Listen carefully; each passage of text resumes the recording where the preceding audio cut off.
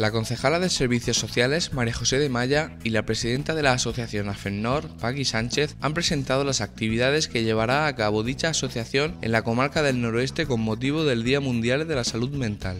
El martes 9 de octubre a las 11 de la mañana se hará una mesa informativa y recogida de firmas a favor del mantenimiento de los servicios sanitarios y sociales de atención a la discapacidad y a la salud mental en el Centro de Salud Mental de Caravaca. El, miércoles 10 de octubre, que es el Día Mundial de la Salud Mental, a las 11 de la mañana una mesa informativa y recogida de firmas a favor del mantenimiento de los servicios sanitarios y sociales de atención a la discapacidad y la salud mental en el mercado semanal de Cejío. Durante todo el día habrá una jornada, una jornada de puertas abiertas en el Centro de Día Pro Salud Mental del Noroeste. A las siete y media de la tarde se dará lectura de un manifiesto proclama del Día Mundial de la Salud Mental en el Jardín de la Tercia junto al Centro de Día.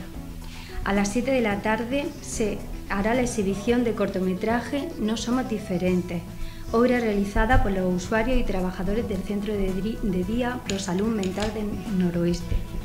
Después tendremos una buñedada pro salud mental. El miércoles 17 de octubre a las 5 de la tarde habrá una presentación del corto No somos diferentes en el primer certamen regional de cortos pro salud mental en la Universidad de Murcia.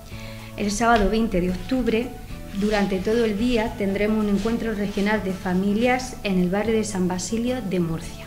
Dar las gracias a Fernol por la labor que está haciendo, por el trabajo constante que realizan día a día. Como todos sabéis, es una asociación que trabaja no solamente por apoyar a los enfermos mentales, sino también por apoyar a la familia, por ofrecer una mejor calidad de vida y aquí encuentran un recurso indispensable, 20 plazas convenadas actualmente y queremos que siga avanzando, que siga mejorando este recurso y por eso estamos aquí, para apoyarlo. AFEMNOR pondrá un autobús para las personas que quieran participar en las actividades del sábado 20 de octubre en Murcia. Los interesados pueden apuntarse de forma gratuita en el Centro de Día Pro Salud Mental situado en el Palacio de la Tercia.